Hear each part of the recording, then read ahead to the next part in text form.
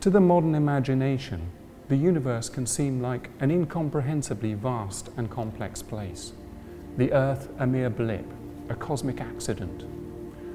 Well, if you find that unsettling, then here's a beautiful and perhaps reassuring alternative. In this object is a very different vision, a vision that extends right back to the second century Alexandrian mathematician Claudius Ptolemy. Here we have contained within these elegant rings, tidy and symmetrical, the entire universe. Known as an armillary sphere, this instrument survived right throughout the medieval period into the early modern era, and it came to symbolize that most noble queen of the sciences, astronomy. It wasn't until the middle of the 16th century, with the Polish mathematician Nicholas Copernicus, that this concept was seriously challenged. Held stationary at the center is the Earth, represented by this small brass sphere.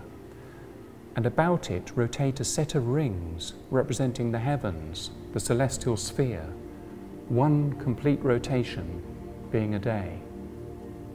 The sphere is mounted at the celestial poles, which defines the axis of rotation, and its structure includes an equatorial ring and two smaller rings parallel to the equatorial ring.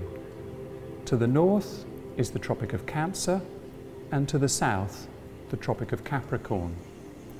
Just touching these two smaller rings is another brass ring which crosses the equatorial ring at the equinoxes, the times of equal hours of day and night.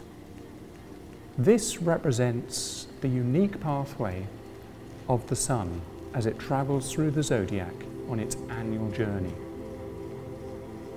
Each of the signs of the zodiac is engraved upon this ring, which also includes a calendar scale, so that it can be used to model the apparent movement of the sun and the stars. The sphere is suspended within a ring, which is supported by a cradle on an elegant tripod stand. The position of the ring can be adjusted for latitude.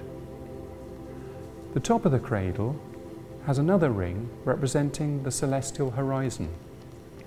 Anything above the celestial horizon on the sphere at any one time is in theory visible in the heavens above, and anything below is hidden from sight.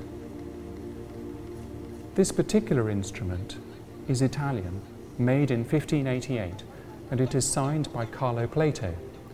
It has a number of rather unusual features, including the moon mounted upon a separate ring inside the sphere, and a number of individual star pointers on the sphere itself. It has to be one of my favourite instruments in the museum. It is so elegant and beautiful.